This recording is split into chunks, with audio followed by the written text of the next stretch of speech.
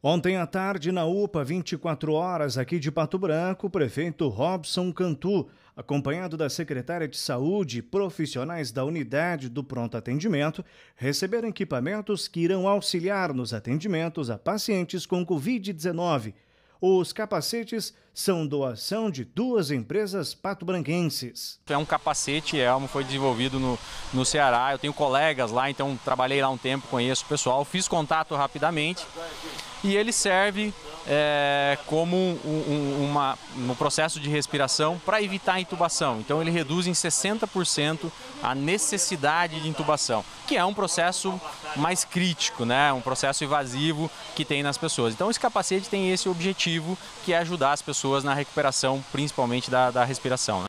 O prefeito fica feliz com a ação das empresas e ressalta que é mais uma ferramenta para salvar vidas pois o sistema possibilita a melhora na respiração e pode ser utilizado fora de leitos de UTI, além de poder ser desinfectado e reutilizado. Os empresários estão ligando para nós o que, que a prefeitura está necessitando, o que, que a UPA está precisando, o que, que a, a Secretaria de Saúde está precisando de aparelhos. E está todo mundo ajudando, está na mesa, todo, todo mundo está no mesmo.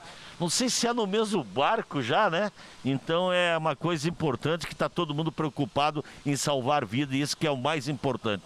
Para a secretária de Saúde, os equipamentos chegam em boa hora, pois a compra de insumos para o combate ao Covid-19 está difícil e os capacetes são fundamentais para o atendimento prestado pelo município, especialmente evitando que pacientes sejam entubados. A gente fica muito feliz porque vai poder colocar mais um equipamento para ajudar as pessoas, para ajudar no tratamento das pessoas que estão aqui na nossa UPA, né?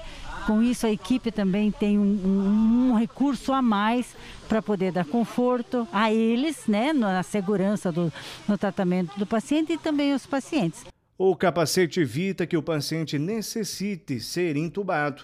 Acomodado ao pescoço do paciente, a pessoa consegue respirar com auxílio da presurização e oferta de oxigênio.